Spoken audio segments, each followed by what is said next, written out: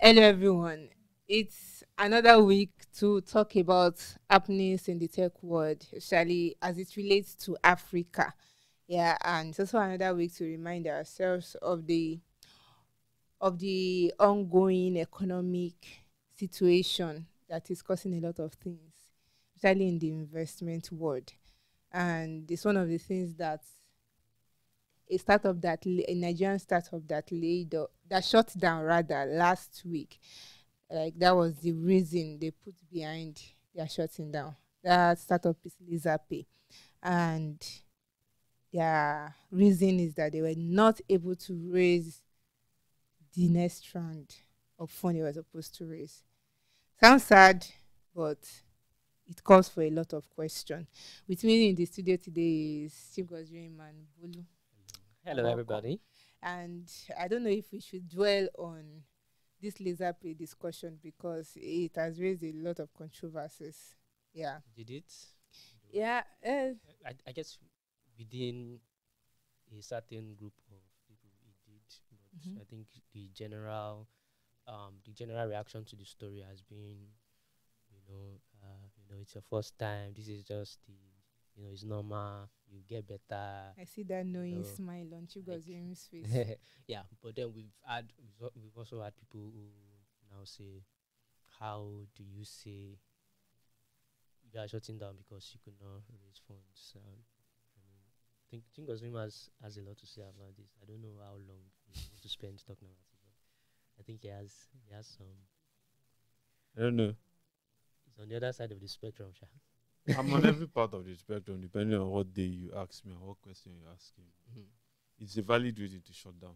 That's the reality. It's a valid reason. Um, but it also makes people. I, I think it's, it's. I mean, for people on the outside, it's also an. That's an opportunity for you to get a little glimpse into how funny the startup life can be. Yeah. So the idea. So I don't know how you guys grew up, but my understanding of businesses was that businesses would like ideally they should start making money as fast as possible. Mm-hmm. Where they can't, then you have to find some form of financing to sustain it. So it's either your savings or maybe you're able to get, get someone from somewhere to get to just put up enough capital to see through a specific period. Mm-hmm. And until you can get to the point where, at the very least, maybe your revenues are sustaining a significant portion of your expenses, even if you're not making profits, then you can stay alive. And it's something that startups seem to not want to do. Mm. And uh, maybe that's because the whole premise of venture capital is grow as fast as possible. We are funding innovation in quote. I hate using that word these days, but everyone claims they are funding innovation. And that's like the whole premise of it. So one of the things it does, I've been having this conversation with um, a friend in, for the last maybe two weeks. Do you want to grow so fast and yet you can't sustain your operations? Mm-hmm. Because it's one of the major problems. You can grow That's very fast. Sales to VCs. Yeah, that, I mean, it's one of the things that sells to them. But um, so for if you are still dwelling on Lazerpay, so launched 2021, if I'm not mistaken, and the idea was to help businesses accept payments using cryptocurrencies. Mm-hmm. Basically, a Paystack, but for crypto. Sounds interesting when you consider that Nigerian businesses, were, especially Nigerian businesses, were suffering to get access to dollars. So that's a huge or a very good value proposition. And they quickly raised enough money to get them out into the market. Um, by the statement they put out, they had served about 3,000 merchants. What I noticed is 3,000 merchants was the same number they gave us the last time they laid mm, off. Yeah. So, I mean, not much growth happened between that time and when they shut down. This is mm. roughly four or five months. If not, yeah, five months or so. That's kind of how long it takes for you to keep to, convincing investors. To, mm. Yeah. So it's so. I mean, people have said uh, we are past the stage where you say not raising funds is your reason, but investors will tell you when you want to, if you want to raise one million, you should be asking yourself how long will one million last. last. So if the one million won't take you past a certain, um, so if for example one million would keep you in keep you alive for a year, then it makes sense. But don't raise one million, and maybe one million is only going to be enough for eight eight months, and you're hoping to raise money at some point. But yeah, it just, I mean, yes, it's it's a sad tale, but then businesses fail every day, Yeah. Yeah. and it's just in But, important. but then we, I think startups should should I'm working on something about uh, the trend with which startups, African startups, Nigerian startups, Mm. or is it, is it African? African startups are laying off.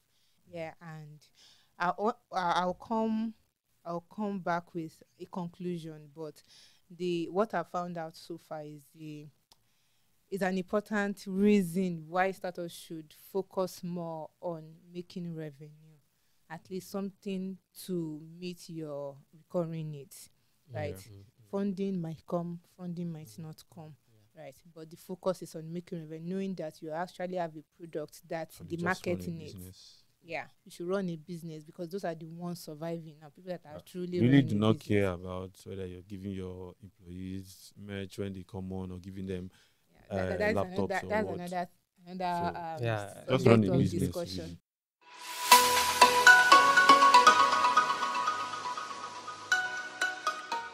And still talking about um, the current situation of things, it seems Silicon Valley has been taking a lot of um, of the impact lately. Right, it's been it's either the economic recession, there, there's Silicon Valley Bank and everything.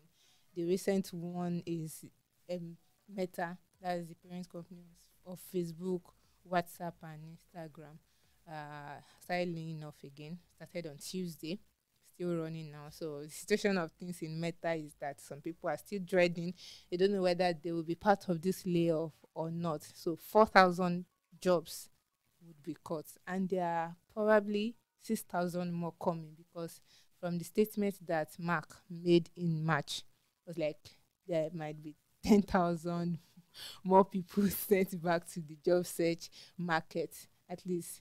But now four thousand has been confirmed and they are receiving their notice one after the other. And I you know what I was just imagining was how thick skinned the head of people would be at this moment because just in November, Mm. Meta laid off eleven thousand people. Wow. Yeah. And you've you've stopped hiring for like five thousand roles that were Mhm. open before. Mhm. you stop that and now you're releasing bad news back to back. And i can imagine employee morale getting very low. People are probably revolting within. There there might be internal um conflict going on because you don't know who next would be. You're probably having survival guilt that okay you were not affected but still uh, your friends were affected. So i can imagine what is going on within meta. But Mm. from what is the what they say is behind the reason for these layoffs and hiring freeze and one other thing which which mark said is trying to thin out the the um the space between management and the people that are now down the organogram Oh, okay. so you are removing mid-level people so that Wow. even the people that are top that are still in management roles they can also take on um closer to- hands-on mm. hands-on roles like coding like Mm. designing you get. So I'm it going says to be year. I'm going to be earning your money now. right? It says it's the year of efficiency right? And i came across a conversation earlier in the week of big engineer of large engineering teams doing nothing like achieving very less compared to small Smaller engineering teams. And i kind of agree because uh, uh, when you see that the the line of communication or what is it called the line of i think it's line of communication if the longer it gets the longer it gets to get Do tasks Yeah. done Yeah. Yeah. yeah I, I think that is what i'm not i'm not supporting what is in business has to run i think what that's what mark is doing reducing Ah, why did they even Things. have to get to that point? in like interestingly interestingly um what's it called um meta's workforce Mm. as of 2019 was eh, almost 45000 Okay. people but even after now after meta laid off that 11000 in november last year its Mm. workforce was around 86000 Wow. so i think it's, it's trying to go back to what it was 6,000. yes That's I more mean- than I don't know. Ah, they probably employ more people than the federal government in Nigeria. if you say that so maybe um the company is trying to wind back to what it was before the good days of 2020 as it were. So um, we are mi- very sad. wishing Meta the All the best, in best. their journey of laying off, and we are hoping that the ones that are laid off find their foot quickly. I am. I believe that the company is um, paying attention to severance to help those people to get themselves together before they move on. But that's not all we'll be discussing about Meta today, right? Meta Yes. is is collecting blows, bass blows from two countries in. Africa. So you tell us about it. Okay. Um. So. Meta Meta's um legal woes in Africa just seem to continue. It's almost like they're in the news every week. Every other week, yeah. Yeah. So this time around in Kenya, um, they are being barred from hiring another person, another, uh, what I call it, service provider, Oh, they won. They won the case. Um, the Kenyans won the case. something like that. So it's it's an ongoing case, and Oh. they are being banned from hiring a different company. contract. So now the court has already said you can't hire like these guys can't work for you anymore. So they are now they have to wait until the court case is all over. So Mm. basically, um, their content moderation jobs or partner in Kenya is now they can't hire because the court has stopped them. But they still have employees, and according to them, they are incurring expenses by paying these employees. I think they are all on a paid leave, so they're incurring expenses by paying employees Even though they are not even though working. they're not working. And moving to South Africa, it's it's not the same thing. This this time it's is like an anti-competitive um, suit. So Kenya is being sorry, Meta is being accused of anti-competitive practices where it is it- it's pulling off a service from using its uh, API. So GovChat is the name of the company, and it's accusing Meta of pulling pulling it off the uh, WhatsApp API database in order to offer a similar service. So I was checking GovChat's website, and um, they they currently have about nine million users, and what they just do is connect gov- government and citizens. So like a bridge between the government and the citizens. So um, it's I don't know, it's kind of GovTech. Yeah, kind of GovTech. So I guess you can send messages to government officials and vice versa. So they are, they are already serving nine million people, and Meta is saying you guys have been flouting our rules. So it's time to get out. And they are saying no, it's not the reason you are uh, you're kicking us out. You're doing it because you want to launch a similar service and now compete directly with us or deal directly with the government. I mean, WhatsApp already has the API, so it doesn't really cost to them a lot to do that. So that's their that's the state of their um, lawsuit now. That will not South go well for them. I mean, it's something it's something the government uses, right? Yeah. Yeah, it's Not like, necessarily government alone. but it helps. It connects government to the people, Mhm. right? And they've, I mean, nine million people already doing that, Mhm. already using them for that. So I think that, that company has the upper hand.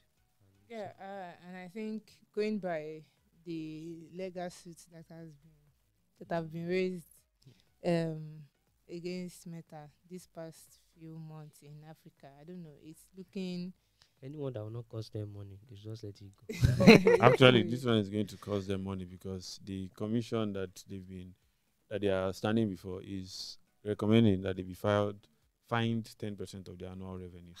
So that's a lot of money for you to, and I guess they are going to fight to the very end to ensure that. again. I wish Meta the best. Okay. s- Uh, okay, so they right, have- and before we go to the next thing we are talking about now, um, I think this is a good time to remind us that Lagos Startup Expo is holding on May 20 at Landmark Event Center on the island. And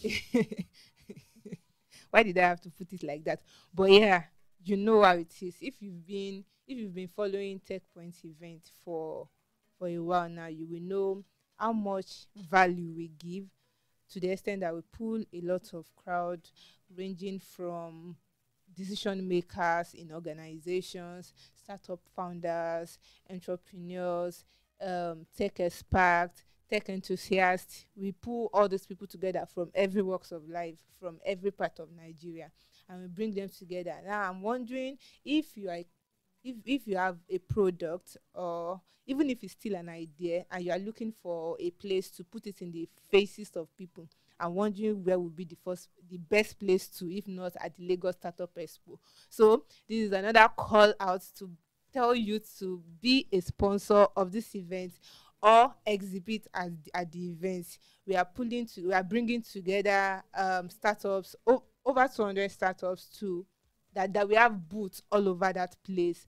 And you would be able not only be able to put your product in in front of people you can also go to other people's stands and see people whose ideas or products align with yours. And you, you you might not know where you will meet somebody to partner with or to get that your next big client. So don't forget to go to lagosstartupexpo.com to book your stand or reach out to business at techpoint.africa if you need any other information on how you can sponsor the event. Also we're also inviting you to attend. If you are if you fall into any of this category you can attend you can come to network you can come to get merch. Yes just imagine bringing you know the way startups are with giving out perks right? You don't Yeah. want to miss that. So register to attend at lagosstartupexpo.com and keep it in mind we already have some sponsors right we have cardonic anchor is already on board Cartonic. Card, Cartonic. Cartonic. I'm sorry. Thank you, Bolu. Cartonic is on board. Anchor is on board. Cardify, Racnida, Grey, and many more are coming on. So don't forget to join us on this work. And May 20 is just around the corner. I'm, I can't wait to see you.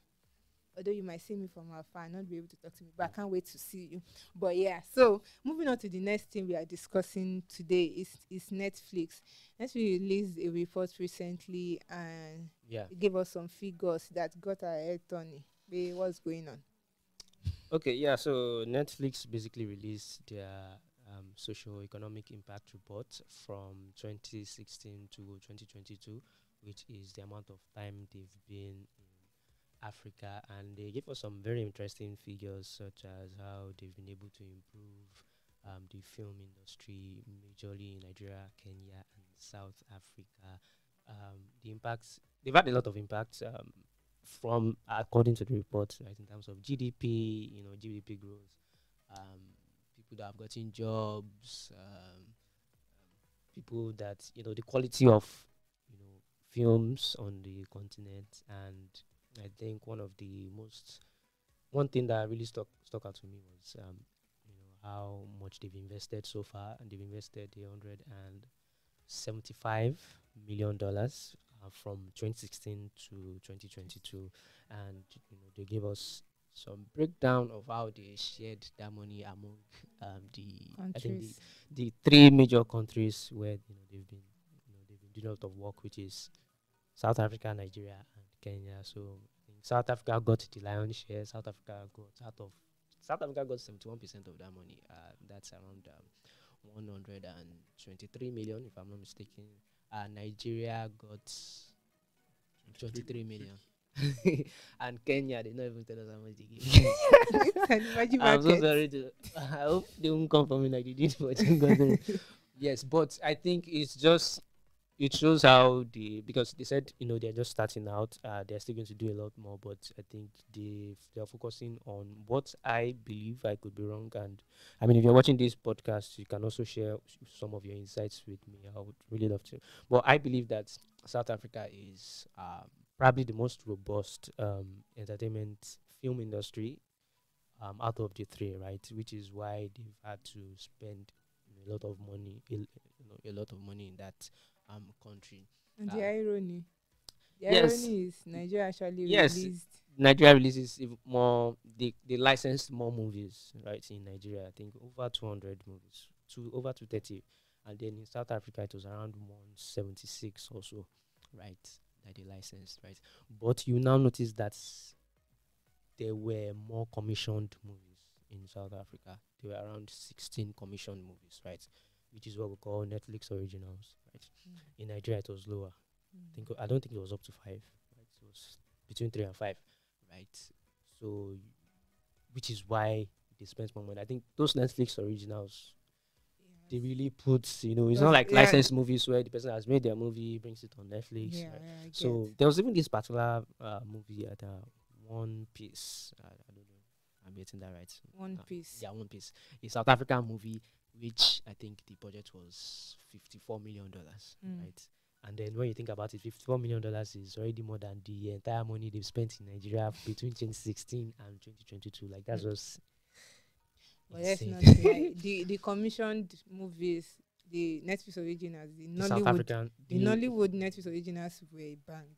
Bang, Yeah, okay. yeah. yeah. If you look at the ratings in the Mm. um in the report, Well, yeah, And yeah, the- they were a bank. They they did really well. They did really well. yeah, um, and the the um the, the one that was a series was a limited series. yeah, Meanwhile, the Blood South African Sisters, Blood Blood Sister, Sisters. yes, and but South Africa had like um Blood and Water. Is it Blood and Water?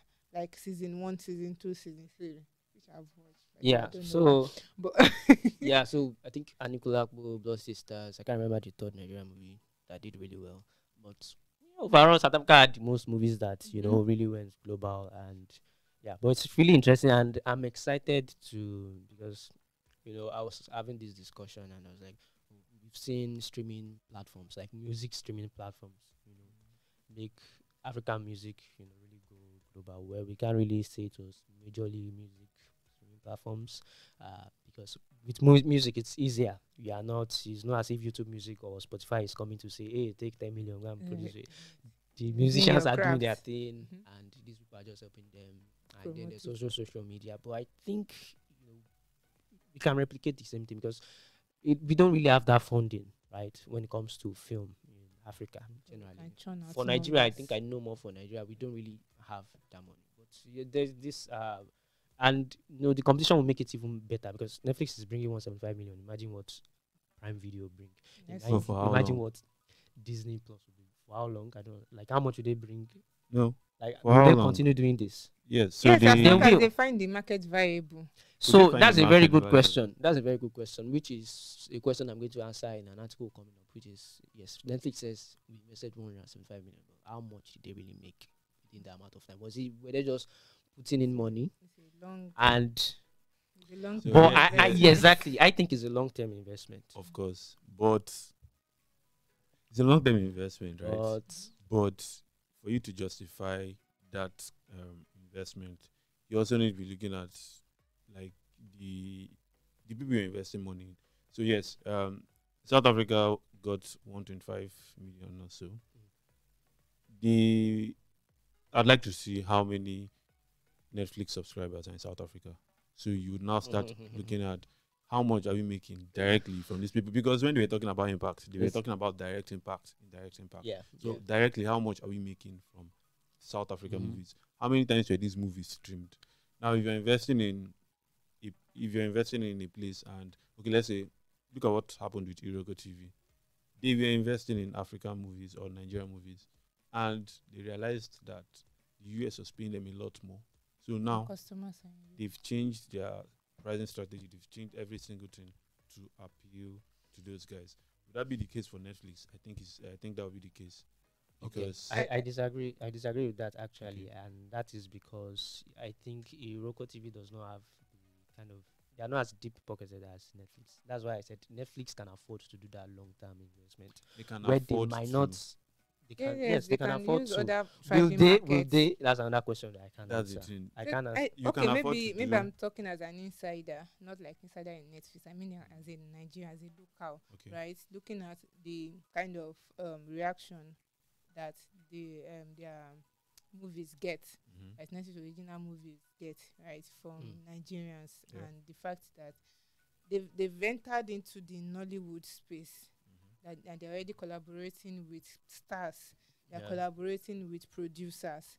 So it's not something that you just say they, they, they should have seen something in this market before they say they are going into it. That is, I think that is the thing with big tech companies coming to Africa, right? They are not expecting to get returns immediately, but they see prospect. And if they Mhm. have to keep at it for a long time, for them to start getting the divi- dividends of what they are doing, I think they will do it. Well, not not to contradict myself because I, I still believe they are in for the long run. Whether they will How long continue, is that long run? that long run will take for me for me i would bet that that long run is i mean how, how long have they done now they've done how many years is between Six years or so. six years Yes. i think they will still have to do probably another six to ten years More likely before 20. those We dividends. realistic. If we are being okay, let's let's say twenty. Let's enjoy Right, it while it But lasts. the thing is, just because they are big tech doesn't mean they can't make mistakes, right? Some people can decide to say, "Oh, this market This might boom." a They put one billion and, eh, I mean, Yahoo, all of them. right? Okay so um we are hoping this this run doesn't stop because i love i i really really love Yeah, what Nollywood netflix is- is, doing with nollywood. Yeah, i Nollywood really really love also it. doing well. And I'm, I'm hoping this continues for a long time. And we are trying to remind you of our newsletters the uh, tech point digest. It's a roundup of all the tech news that's happening in africa. It's a week daily um newsletter that runs from Monday to Friday. There's also the workaholic and then fintech today. Um, the first one is to get everything you need to know that is happening in the work workspace, and fintech today is also to remind you or discuss um, start some discussions about what is happening in the financial space in Africa. So thank you once again for joining us today. It's always nice to have you. Don't forget to if you are watching this on YouTube, don't forget to like and subscribe and also click on the notification bell because there are always things you should learn. Also doing shout outs to those people that have been commenting, that have been li- liking One our love, posts and and be sending us we say one love. And those that have been sending us feedback, we we we will keep we would love to hear more from you on how we can make this better. And if you are an audio lover, um, Bolu will tell us where you can get. Yes, if Uh, you're an audio lover, you can always find us on Google Podcast, Apple Podcast, Spotify, iHeartRadio, and anywhere else you can find your podcast. I hope that sinks in. So see you in the next one. Bye. Bye.